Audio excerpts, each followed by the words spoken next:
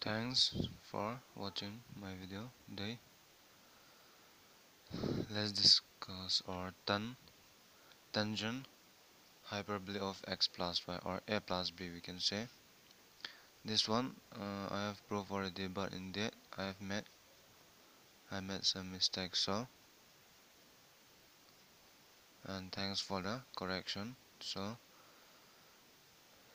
Let me reprove again okay so tan hyperbole of x plus y is same as sine hyperbole of x plus y by cos hyperbole of x plus y which is the same as our trigonometric function okay? But we know that tan sine hyperbole of x plus y is nothing but sine hyperbole of x cos hyperbole of y plus cos hyperbole of x sine hyperbole of y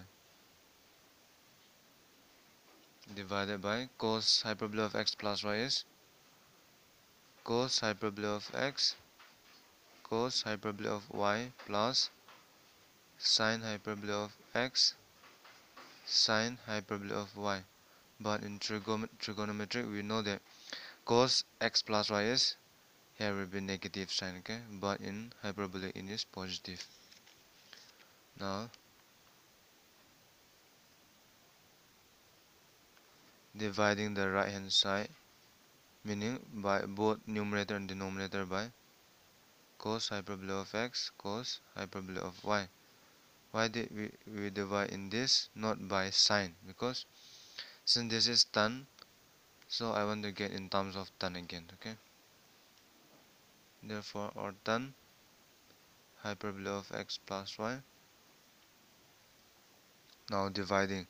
If I divide cos hyperbole of y and cos hyperbole of y will cancel out we will left with sine hyperbole of x by cos hyperbole of x which is tan hyperbole of x plus similarly here cos and this cos hyperbole of x and this will cancel out. So we are left with tan hyperbole of y over if you divide this both side by this one again so in this one itself and so this is